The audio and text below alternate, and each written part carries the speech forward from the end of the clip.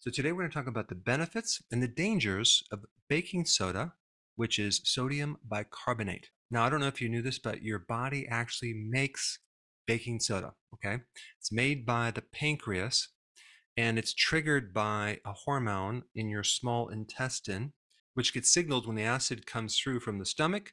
In the stomach, you have this super, super acidic uh, mixture between one and three.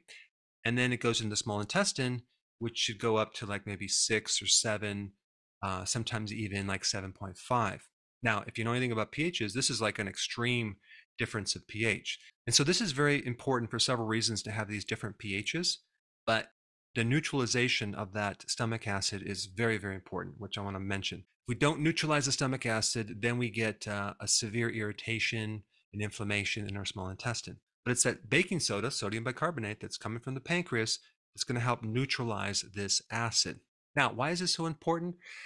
Well, because the majority of the enzymes that are needed for digestion are activated. They get turned on by a much higher pH. I mean, if you think about it, if you just look at the stomach, pepsin, that's a very powerful protein enzyme. And that's activated by a pH between like 1 to 1.5. So with that enzyme, you need a very strong stomach acid. But with the other enzymes, right, in your small intestine coming out from the pancreas, you need a much higher, more alkaline pH for those enzymes to work. Like trypsin, for example, which is a very important enzyme with a pH of 7.5 to 8. And so this means that if you don't have the bicarbonates to kind of buffer this pH, and we still have too much acidity coming down in the small intestine, that enzyme trypsin cannot work. It's useless. Even lipase, the uh, lipid enzyme that comes from the pancreas, needs a pH of 8. And so I hope you can now see that the vital importance of having the right pHs in the right place are uh, essential for digestion, especially when you talk about enzymes. And this is why you can't really uh, say that, oh, yeah, the body is alkaline or the body is to acid. It's a combination of a lot of different pHs. And so you need to understand this if you're going to try to alkalize the body or even acidify the body. Because as soon as you start to alkalize the body, like with some remedy, like even baking soda, it has to go through the stomach to get to different places. Now, bicarbonate is not just produced by your pancreas, it's also produced by the little tubes that connect in between the liver and the, and the gallbladder. The bile ducts actually secrete bicarbonate as well, which is interesting. Let's say, for example, you have a problem with your pancreas that you're not able to produce enough enzymes, which is not very uh, common because there's a huge reserve in your pancreas for these enzymes. But it definitely occurs. And if you have a deficiency, uh, the treatment is taking enzymes. But they rarely, if ever, include bicarbonate with that. So here you are taking these enzymes, but what is going to activate it? If you don't have the right pH, alkaline in your small intestine because the pancreas, for example, is too exhausted to release these bicarbonates, then what's going to activate them? So, in other words, if you're going to take enzymes, I would also recommend you take some baking soda with that to help them get activated. So, from one aspect, baking soda might help your digestion from just activating certain enzymes. Now, on another hand, baking soda may be helpful in certain situations with like acid reflux or heartburn if you don't take it very often and you don't take it for a long period of time because if you're going to take it for you know weeks and months you're going to actually create other problems because usually the underlying cause of heartburn or acid reflux is a lack of acid not too much acid. And so this is why some of the side effects of chronic consumption of baking soda can create bloating gas um, and even something called acid rebound, where your body now is going to make more acid to compensate. So if you wanted to take it short term here and there for some acid reflux, that's fine, as long as you're also focused on correcting that cause of it, which is usually a lack of acid. And this is why I think a much better remedy would be betaine hydrochloride uh, and some apple cider vinegar. But let's say, for example, you have an ulcer, or let's say, for example, you have gastritis okay? Your stomach lining is just raw. If you take betaine hydrochloride or um, apple cider vinegar, you're just going to irritate the heck out of it. But you can very easily take baking soda, to give you some relief. So I just wanted to kind of give you some specifics on like when you may want to take it, when you might not take it. Now, of course, there's going to be people commenting on the channel that um, say, well, you know, my grandfather took this his whole life and he's, you know, 120 years old, so it's fine. So I'm not here to tell you not to take it because I'm I'm totally into natural remedies. But on the flip side, you always want to ask yourself, why do you need to take any remedy at all? And do you know the cause? I think you should find natural remedies to kind of handle the symptoms, but also at the same time really understand the mechanism so you can really eventually get rid of the cause, which if you have heartburn really relates to kind of what you're eating. All right, another um, interesting benefit has to do with uh, increasing athletic performance. Yeah, having a little more endurance because when you exercise, especially intense exercise, you will generate lactic acid. Okay, so now we're going to change the pH of certain tissues in your body.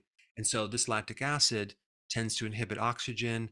And then what's going to happen is you're going to um, hit the wall when you exercise. So you'll have a, a limited endurance. But there's been a few interesting studies that shows that if you consume baking soda 90 minutes before this exercise intensity routine, it can improve your performance because it's going to uh, neutralize this acidity and then allow more oxygen to occur.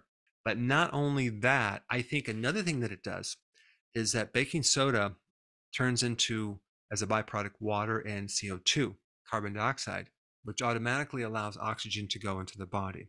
If that's new information for you, you should watch my video on that topic. I'll put that down below, but it's fascinating. Now, the CO2 connection relates to this next benefit, which you know, I found I had to dig deep, but I found some interesting research on the relationship between taking uh, sodium bicarbonate and cancer.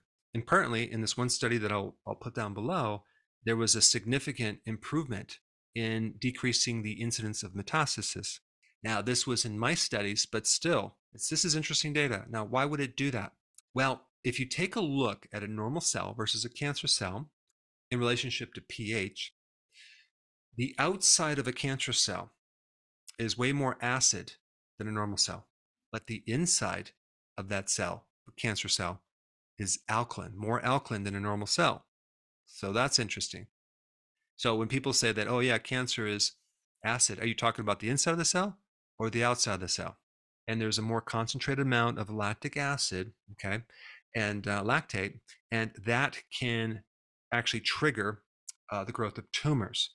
So if you were to reduce that, kind of neutralize that pH, potentially you can actually um, prevent the growth of the tumor. Now, realize that all this is kind of down chain. In, other words, it's like the kind of consequences of this chain reaction that occurs originally from some type of damage to the mitochondria, and then the oxygen machine can't work, and then the body uses a different mechanism to get its fuel, and then the body switches from normal cell to now a cancer cell, which is kind of like a backup um, system to get fuel.